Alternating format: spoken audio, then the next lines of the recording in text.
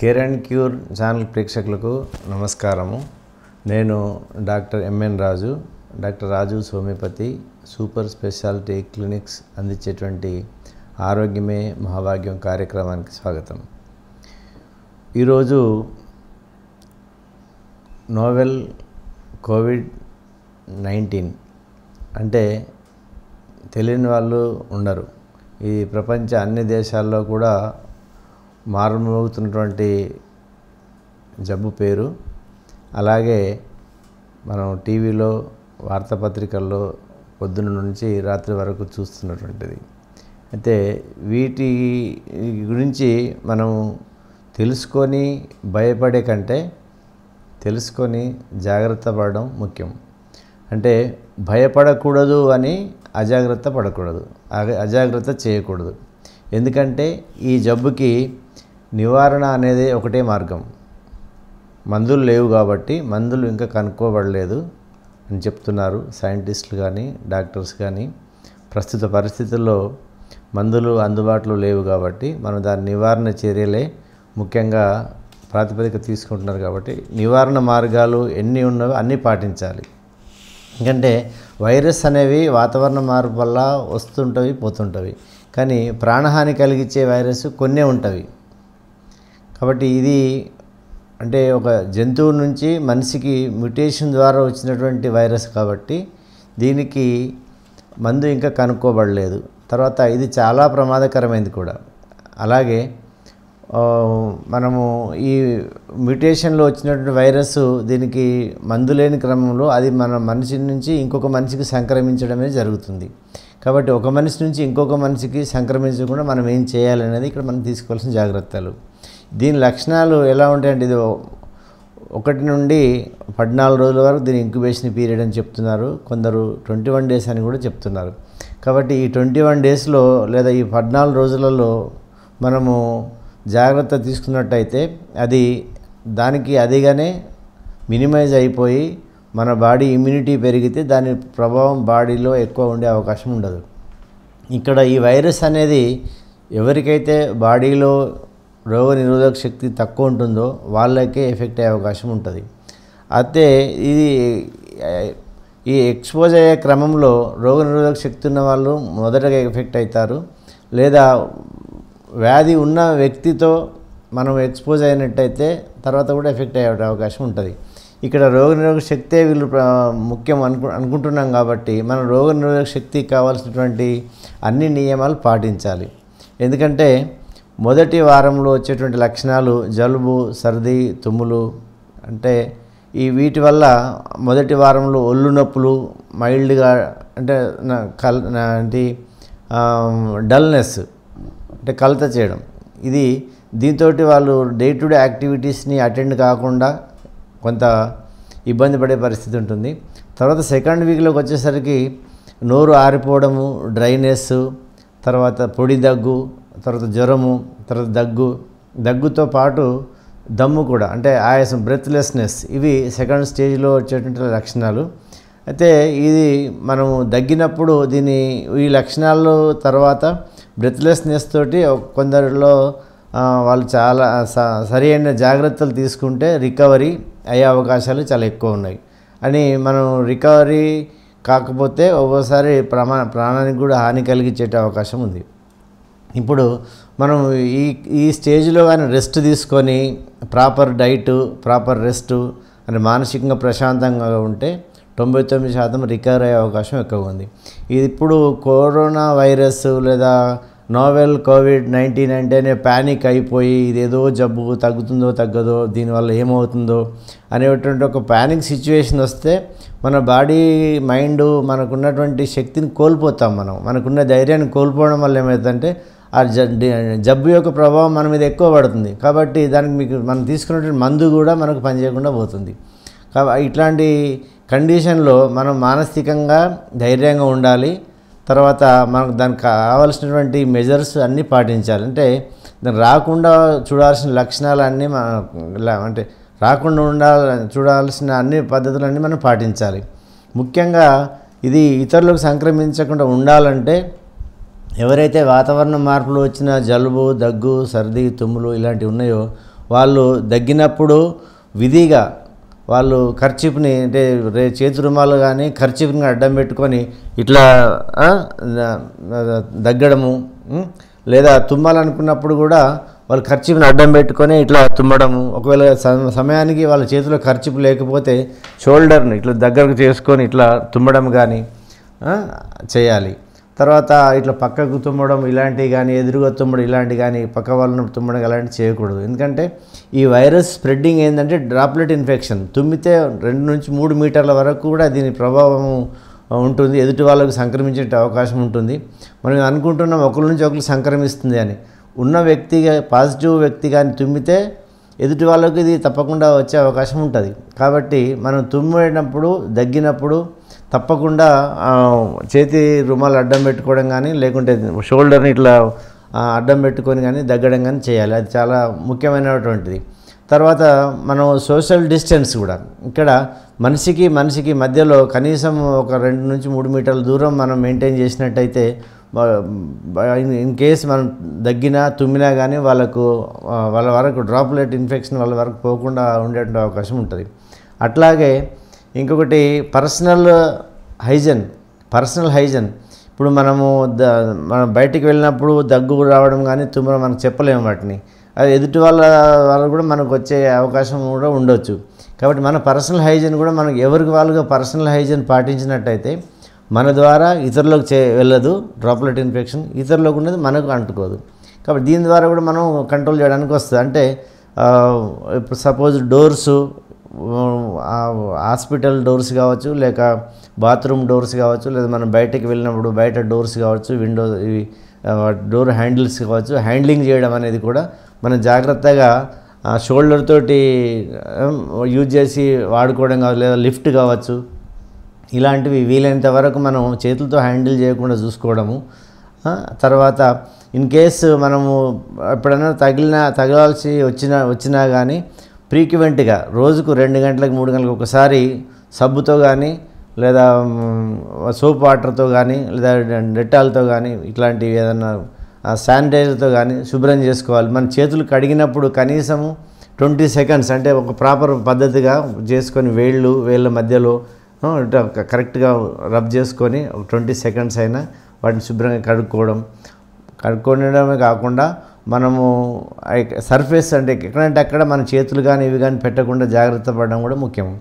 అట్లాగే ఒకవేళ మనం ఫ్రీక్వెంట్గా కళ్ళు ముక్కు తర్వాత నోరు వీటిని టచ్ చేయాల్సి వచ్చినప్పుడు చేతులు కడుక్కోవాలి టచ్ చేయాలి. చేతు మనం కళ్ళు రబ్ చేయడం కానీ ముక్కు రబ్ చేయడం కానీ ఇలాంటి సందర్భం వచ్చినప్పుడు తప్పకుండా చేతులు కడుక్కొని రబ్ చేసుకోవాలి. వేరే సందర్భంలో వీలైనంత వరకు చేతులు అంటే కళ్ళు ముక్కు నోరు తగలకుండా ఉండ ఉండడమే చాలా ముఖ్యమైన ఇది. ఎందుకంటే దీని route of infection is mucocutaneous junctions అంటే జిగురు ఉన్న పదార్థం ప్రదేశాల నుంచి ఇది ఎంటర్ అవుతుంది బాడీ లోపలికి. ఆ జిగురు ప్రదేశ ప్రదేశాల నుండి శ్వాసకోశంలోకి శ్వాసకోశం నుంచి లంగ్స్కు వెళ్ళేటువంటి ప్రమాదం ఉంది కాబట్టి మనం జిగురు పొరలు వీలైనంత వరకు టచ్ చేయకూడదు. కళ్ళు రబ్ చేయడం కానీ ముక్కు రబ్ చేయడం ఇలాంటి చేతులు చేయకూడదు. అలాంటి చేయాల్సినంత వచ్చినప్పుడు మాత్రం తప్పకుండా చేతులు కడుక్కోవాలి. అయినా విధిగా టూ టు త్రీ అవర్స్లో ఒకసారి చేతులు కడుక్కుంటే మంచిది. తర్వాత దగ్గినప్పుడు విధిగా మాస్క్ కట్టుకోవాలి. విధిగా మాస్క్ కట్టుకోవాలి. మాస్కులు కూడా ఎన్ నైంటీ ఫైవ్ ఒక కరెక్ట్ మాస్కులు యూజ్ చేయడమే కరెక్ట్. అంటే ఇక్కడ బయ మనం బజ బయటికి వెళ్తే మాస్కులు కట్టుకొని ఉండి ప్యానిక్ కావాల్సిన అవసరం లేదు. ఎవరికైతే రిక్వైర్మెంట్ ఉందో వాళ్ళు కట్టుకోవడం తప్పనిసరి. ఎన్ నైంటీ ఫైవ్ అనేటువంటి మాస్కులు అంటే మెడికేటెడ్ ప్రాపర్ స్టాండర్డ్లో ఉన్నటువంటివి దగ్గు జలుబు సర్ది తుమ్ములు ఉన్న వాళ్ళు కట్టుకోవడం ఇంపార్టెంట్. అంతే కనపడ్డ వాళ్ళందరూ కట్టుకోవాలని కాదు అక్కడ. కనపడ్డ వాళ్ళని పర్సనల్ హైజీన్ పాటించాలి. వాళ్ళు శుభ్రంగా ఉండాలి వాళ్ళ పరిసరాలు శుభ్రంగా ఉంచుకోవాలి. బయట నుంచి వస్తే కాళ్ళు చేతులు కడుక్కోవాలి శుభ్రంగా ముఖము కాళ్ళు చేతులు శుభ్రంగా కడుక్కోవాలి. చేతులు మనం సర్ఫేస్ని టచ్ చేసే ప్రదేశాలు కాబట్టి చేతుల్ని శుభ్రంగా సబ్బుతో కానీ సబ్బు వాటర్తో కానీ కడుక్కోవాలి. లేదా శానిటైజర్ కానీ యూజ్ చేయాలి ఫ్రీక్వెంట్గా. ఇది మన పర్సనల్ హైజీన్. తర్వాత ఆ, ఒకరికో మేము సోషల్ డిస్టెన్స్ ఒకరికొకరికి మధ్యలో దూరాన్ని ఉంచడం కానీ మనం బయటికి వెళ్ళినా బయట పబ్లిక్ ప్లేసెస్కి వెళ్ళకుండా ఉండడము ప- ఫ్యామిలీలో కూడా మనం పరిసరాలను శుభ్రంగా ఉంచుకోవడము ఇలాంటివన్నీ పర్సనల్ హైజీన్ పాటిస్తూ వ్యక్తిగత శుభ్రత పర్సనల్ హైజీన్ డిస్టెన్స్ మెయింటైన్ చేయడం వల్ల ఒకరి నుంచి ఒకరికి అంటుకునేటువంటి చాలా అవకాశాలు తక్కువ ఉంటుంది. కాబట్టి ఇప్పుడు చాలామంది ఈ తుమ్ములు జలుబు వచ్చినప్పుడు మా కరోనా అనేటువంటి ఫ్యానిక్ సిచ్యువేషన్ గురవుతున్నాం కాబట్టి అంద ఈ సీజనల్గా వచ్చేటువంటి జలుబు సర్ది తుమ్ములు మాత్రమే దగ్గు పొడి దగ్గు ఇలాంటివన్నీ ఇవి కరోనా అని భయపడడానికి లేదు మీరు అనవసరంగా భయపడకూడదు. ఈ భయమే జబ్బు అయి కూకు కూర్చుంటుంది. ఈ భయం వల్లనే అంటే ఒకరు తుమ్మినారంటే వాళ్ళకి అదే ఉంది అనేటువంటి భావన అవసరం లేదు. కాకపోతే మనం కొన్ని గవర్నమెంట్ ఇచ్చిన గైడ్లైన్స్ ప్రకారం విదేశాల నుంచి వచ్చిన వాళ్ళను కానీ అబ్జర్వ్ చేయాలి. విదేశాల నుంచి ఎవరైనా వచ్చినట్టయితే వాళ్ళను గవర్నమెంట్ క్వారంటైన్లో పెడుతుంది. కాబట్టి వాళ్ళకి అబ్జర్వేషన్ పీరియడ్ ఆ ఫోర్టీన్ డేస్ వాళ్ళని అబ్జర్వేషన్ ఉండేలాగా మనది కూడా సామాజిక బాధ్యతగా భావించి వాళ్ళు ఎవరైనా వచ్చిన వాళ్ళు ఉంటే కూడా మనము ఇన్ఫామ్ చేసి వాళ్ళకి వాళ్ళుగా ఉండేలాగా వాళ్ళకి మనం కౌన్సిలింగ్ ఇచ్చి వాళ్ళ వ్యక్తిగత పరిశుభ్రత వాళ్ళకి వాళ్ళు ఒక రూమ్ అంటే హోమ్ క్వారంటైన్ కానీ లేక గవర్నమెంట్ క్వారంటైన్ కానీ ఉంచడం అనేది చాలా ముఖ్యమైన విషయం. అంతేకాకుండా ఈ దగ్గు జలుబు జ్వరము దగ్గుతో కూడిన ఆయాసం ఇలాంటివి ఉంటే సంబంధించిన డాక్టర్ దగ్గరికి వెళ్ళి వాళ్ళకి కావాల్సిన పరీక్షలు కానీ డాక్టర్ సలహా తీసుకొని సలహా మేరకు మందులు వాడడం కూడా చాలా ముఖ్యమైన విషయం. అంటే దీని ద్వారా ఇతరులకు స్ప్రెడ్ అవ్వకుండా ఉంటుంది.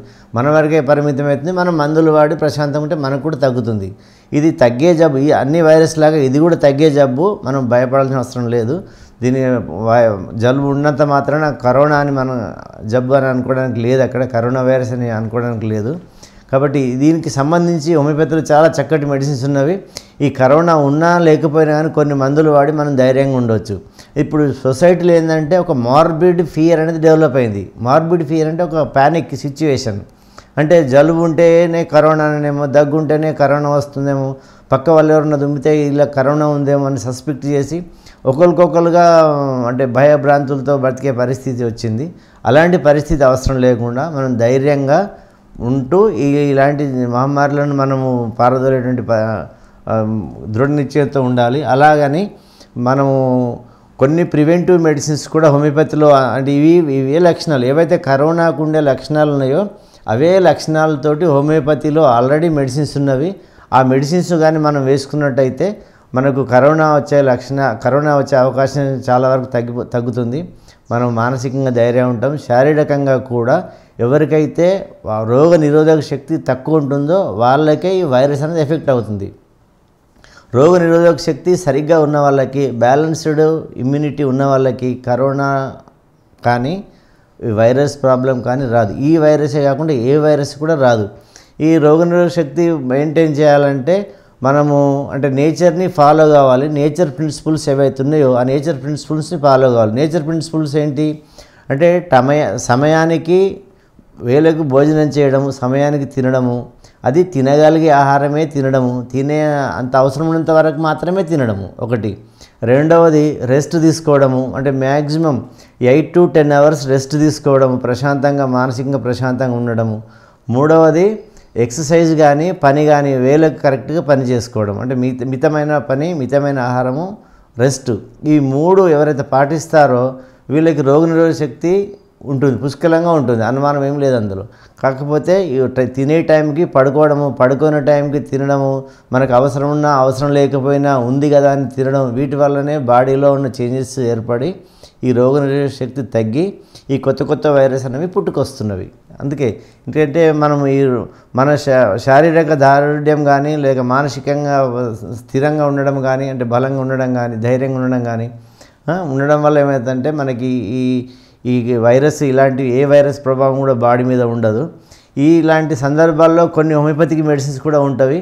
మీరు ధైర్యంగా ఈ మందులు వాడు వాడుకొని మీరు ప్రశాంతంగా ఉండవచ్చు. అవి ఏంటంటే కొన్ని హోమియోపతిక్ మెడిసిన్స్ మీ మీ లక్షణాలను బట్టి మీరు వేసుకోవచ్చు. అది ముఖ్యంగా అయితే మన AYUSH department central council of homeopathic department అంటే వాళ్ళ పరిశోధన దాని ప్రకారం కొన్ని మెడిసిన్స్ సజెస్ట్ చేసినారు. దాన్ని మనం వేసుకోవచ్చు. ఇప్పుడు ముఖ్యంగా అయితే ఆర్సినికల్ మెడిసిన్ థర్టీ పొటెన్సీలో వారానికి ఒక అంటే మూడు రోజులు ఉదయము మధ్యాహ్నం రాత్రి వారానికి ఒకరోజు మూడు పూటలుగా ఉదయం మధ్యాహ్నం రాత్రి వారానికి ఒకసారి అట్లా నాలుగు వారాలు వేసుకున్నట్టయితే మీరు ఈ నెల రోజుల వరకు అట్లా వేసుకున్నట్టయితే మీకు అంటే మానసికంగా శారీరకంగా ధైర్యంగా ఉండవచ్చు మీ లక్షణాలకు అనుకూలంగా ఇంకా కొన్ని మెడిసిన్స్ కూడా ఉంటాయి. రూస్టాక్స్ అని బ్రయోని అని పాస్పరస్ అని అండ్ డ్రోసిరా తర్వాత ఆంటిమ్ టార్ట్ స్పాంజియా ఇట్లా కొన్ని మెడిసిన్స్ హోమియోపతిక్ మెడిసిన్స్ ఉన్నవి. అవి వాళ్ళ వాళ్ళ లక్షణాలను బట్టి వాళ్ళకు ఉపయోగపడతాయి. కాకపోతే మీరు ఓవరాల్గా ఆర్సికల్మ్ అనే టూ హండ్రెడ్ థర్టీ అనే ఒక డ్రగ్ని మెడిసిన్ని మీరు కొనుక్కొని ఫ్యామిలీ అంతా కూడా మీరు వేసుకోవచ్చు. అది మూడు రోజులు వేసుకుంటే చాలు. మీ లక్షణాలను బట్టి మందులు మారుతుంటవి. కానీ మూడు రోజులు మొదటి రోజు రెండో రోజు మూడో రోజు పెద్దవాళ్ళు నాలుగు నుంచి ఆరు గోళీలు చిన్నపిల్లలు రెండు నుంచి మూడు గోళీలు మొదటి రోజు రెండో రోజు మూడో రోజు ఇట్లా మీరు మూడు రోజులు వేసుకున్నట్టయితే మీరు వన్ మంత్ వరకు మీకు ప్రొటెక్షన్ ఉంటుంది. ఆ తర్వాత మీరు ఈ నియమాలన్నీ పాటిస్తే ఆ లక్షణాలకి వాటికి మనం దూ దూరంగా ఉండొచ్చు. ఇది మా కరోనా విషయంలో మనం తీసుకోవాల్సిన జాగ్రత్తలు. మీరందరూ ఈ జాగ్రత్తలను పాటించి కరోనాకు దూరంగా భయానికి ముఖ్యంగా కరోనా భయానికి ఇక్కడ కరోనా లేదు మన దేశంలో పుట్టింది కాదు మనకు వచ్చింది కాదు. ఈ ప్రస్తుతం వస్తున్న కేసులన్నీ కూడా ఎవరైతే బయట దేశాల నుంచి వచ్చిన వాళ్ళే ఫారినర్సే అంటే ఇతర కంట్రీస్కి వెళ్ళి అక్కడ నుంచి అక్కడ అంటే ఎఫెక్ట్ అయ్యి ఇక్కడికి వచ్చిన వాళ్ళ ద్వారానే సంక్రమిస్తుంది. కానీ మన దగ్గర లేదు ఆ ప్రభావము. మనకు అదృష్టం ఇంకొకటి ఏంటంటే ఇక్కడ మనకు వాతావరణం ఇది అంటే మార్చ్ ఏప్రిల్ మేలో మనకు ఎండలు ఎక్కువ ఉంటాయి కాబట్టి ఉష్ణోగ్రత ఎక్కువ ఉంటుంది కాబట్టి ఈ ఇంత ఉష్ణోగ్రతలో దాని సర్వైలెన్స్ కూడా చాలా తక్కువ ఉంటుంది. ఈ రకంగా మనము అతి త్వరలో అతి త్వరలోనే ఈ కరోనా వైరస్ నుంచి బయటపడతామనే నమ్మకం ఉంది. మీరు అందరూ కూడా ఆర్సనికర్లు అనే ఒక మందుని వరుసగా మూడు రోజులు వేసుకొని ధైర్యంగా ఉండవలసిందిగా మీ అందరికీ కోరుతున్నాను. నమస్తే.